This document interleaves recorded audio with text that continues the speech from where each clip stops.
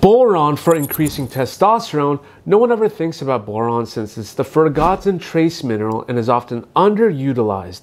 It's present in a lot of foods like prunes, avocados, and red grapes, but what about boron's role on testosterone, erectile dysfunction, and muscle building? I mean, there's got to be a reason why it's used by many athletes and bodybuilders since it's believed to increase the body's ability to produce and use testosterone, which is great for anyone looking for exercise recovery, building muscle mass, and even keeping bones strong. In this video, We'll cover as many of this as we can, so you definitely want to stay tuned till the end. Also, guys, don't forget to hit the like button and subscribe to my channel for more content just like this one. Let's talk about boron and testosterone. And to understand how boron works, you got to understand what SHBG is. Boron has been found to decrease SHBG, which is your sex hormone binding globulin. Now, that's good news for your testosterone levels because SHBG's job is to bind to sex hormones like testosterone and make them inactive. 98% of testosterone molecules are actually bound to SHBG and are not bioavailable because bound hormones cannot exit the capillaries. So technically, by reducing the amount of SHBG in your blood, this allows you to safely increase your testosterone levels so that your testosterone becomes what is known as free testosterone, which can then be used to boost muscle growth, recovery, and strength. Take a look at this study titled Nothing Boring About Boron that examined the effects boron on sex hormones has, even though it was conduct, conducted with eight participants. Six milligrams of boron a day led to a significant increase in free testosterone, which rose from an average of 11.83 to 15.18 picograms per milliliter. And get this, guys, significant decreases in estradiol. In my opinion, the most interesting effect of boron is on vitamin D levels, and we all know the importance of vitamin D on testosterone itself, since men with the lowest vitamin D levels also exhibit notably lower concentrations of testosterone compared to those with higher vitamin D levels. Now, this may just be a correlation, right? Correlation doesn't equal causation, but there is evidence that shows us that vitamin D receptors and vitamin D metabolizing enzymes are simultaneously expressed in both Leydig cells and also in Sertoli cells and has a role in modulating the calcium dependent luteinizing hormone responses. Luteinizing hormone is super important because it tells the testes to produce testosterone. But interestingly, though, boron increases the half life of vitamin D by blocking the enzymes that break down vitamin D, like 24 hydroxylase which then slows how fast vitamin D leaves the body, which means the vitamin D actually stays longer in your system.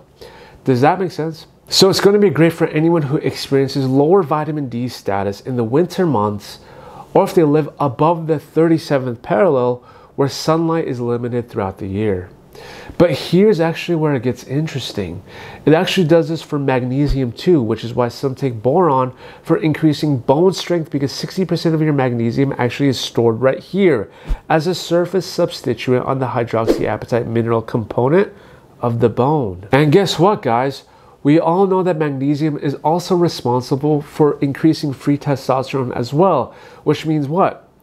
Boron makes a full circle.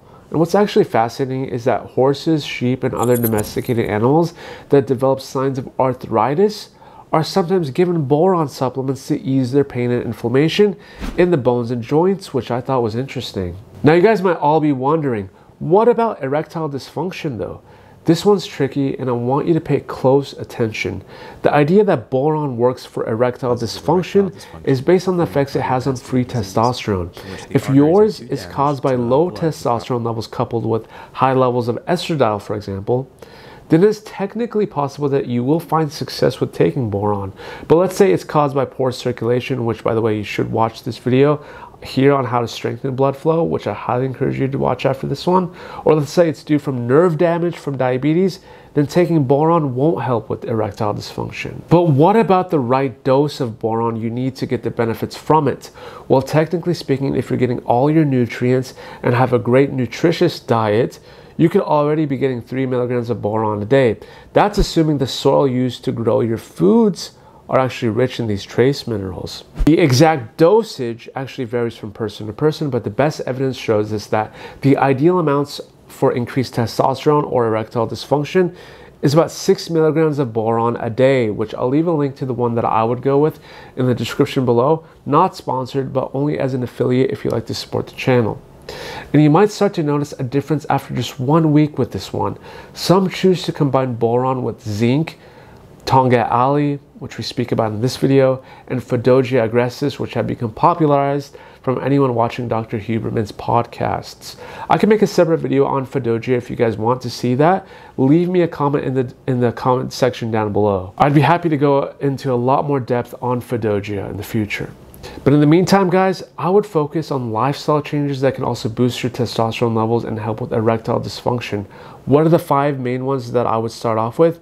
Avoid long duration endurance exercises, limit alcohol and quit smoking, limit your exposure to endocrine disruptors, which seem to be in almost everything these days, and exposure to blue light at night. Another big one is to lose visceral fat and improve on the quality of your sleep. I talk about more about these in this video on how to increase testosterone, so click here to check that one out. Subscribe if you found this video helpful, and I'll see you guys on the next one.